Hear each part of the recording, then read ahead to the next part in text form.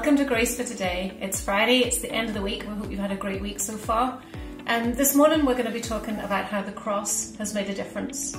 If you've been enjoying these episodes and would like to find out more, then please go to our YouTube channel. There, if you subscribe to us and you can press the bell icon and then you'll receive notifications, or go to the Facebook page and like it. And then we can just keep you updated of any content that we're producing. And again, share it out. We want to get this message out to as many people as possible that God loves them, that He's for them, and that He wants to know them in a deep and intimate way and just encourage them every day.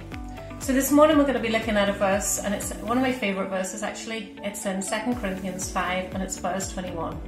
And it says, For He made Him who knew no sin to be sin for us, that we might become the righteousness of God in Him. Now, when we've been looking at Psalm 91, it's really important that we look at it in the correct way because under the old covenant, it's true that God's protection was conditional. So when we people would have read that in the past, before Jesus came and died, then they would have thought that yes, I will be protected, God will care for me, but it will be based on whether I obey what He says. It's all to do with my work, my obedience. But we know under the new covenant of grace, that's no longer what it's about. Our protection isn't achieved, but our protection is received from Jesus because of what he's done for us.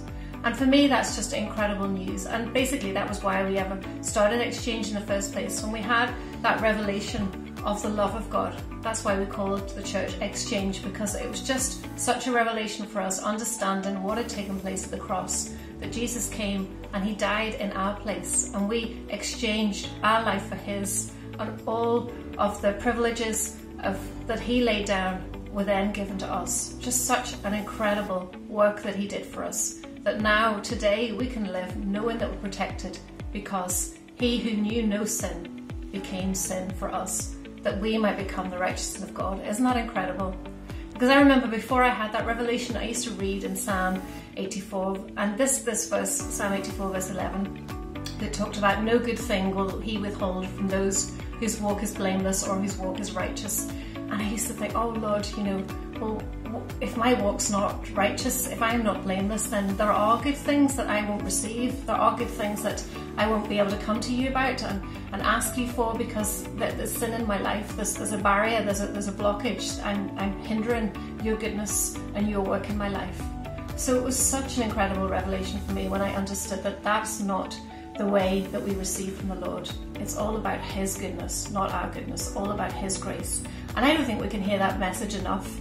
You know, because there's so many times when our hearts condemn us, when our conscience condemns us, when the world condemns us, when we hear these messages, when even under school systems or the or workplace, it's all performance oriented and it's all about you do good and then you'll receive good things. But that is not the way the Lord deals with us. And I love in Psalm 5, verse 12, it says, for you, O Lord, will bless the righteous. With favour, you will surround him as a shield. Isn't that incredible? Because we all want to look out for ourselves, but we know that we can't have our own backs. We can't, in the natural, we can't protect ourselves continually. We can't see everything that's up ahead. We can't surround ourselves with a shield. But supernaturally, the Lord has already done that. He's already protecting us. He's surrounding us with His shield because it's His goodness and it's His faith that we um, trust in. And again, in Psalm 91, verse 14, it says, Because he loves me, says the Lord, I will rescue him and I will protect him.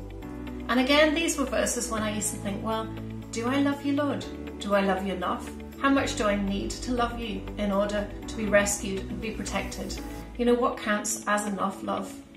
But then again, on this journey of grace, I've understood that we love because He first loved us. Jesus is the source of love. It says in the Bible, God is love. So we don't even have any love to give outside of the love that He's already given us. And the more that we meditate on that incredible love that He has for us, the more that we read verses like John 3:16, but really allow them to go deep into our heart. And when we read, "For God so greatly loved and dearly prized the word world that He even gave up His only begotten Son, so that whoever believes and trusts him, clings to, relies on him, shall not perish, or come to destruction or be lost, but will have eternal, everlasting life. That's the heart of the Father for you today. That's the extent of Jesus' love for you today. And as we meditate on that, as we think about that, as we allow our minds to be completely captured by the depth and the breadth and the length and the height of that love for us, then we're going to understand, you know, that that love's working in our hearts and that our love towards the Lord will naturally flow as we just meditate and receive all of the Lord's love for us. So be assured today that no matter what you're facing, you are protected, not because of who you are, not be, well, not because of what you've done, but because of who God says you are, because you're a son and you're a daughter and you're precious in His sight, and because of Jesus' work for us at the cross. So I want us to celebrate that today. Let's take communion and let's remember what Jesus did, because Jesus, your body was broken that we could be whole today. So we receive this, we receive all of your goodness, all of your blessings, your favour over our lives, your protection because of what you've done, not because of anything in ourselves. Thank you, Jesus. And we take the cup that represents your blood, Lord, that was shed for us. You died the most cruel and awful death for us that we could receive from you today and that we could be protected, we could be safe, and we could be whole. So thank you, Jesus. So I speak that life over your families today. I speak that strength over you, your body, over anyone that is struggling with sickness today. We speak life, health, healing, wholeness over them today. And we thank you, Jesus, for your goodness and your love. And so that's the end of it for today. We um, pray that you'll have a great weekend. Join us again on Sunday morning. Um, our services are 11 and 7 on Facebook and YouTube. And have a great weekend.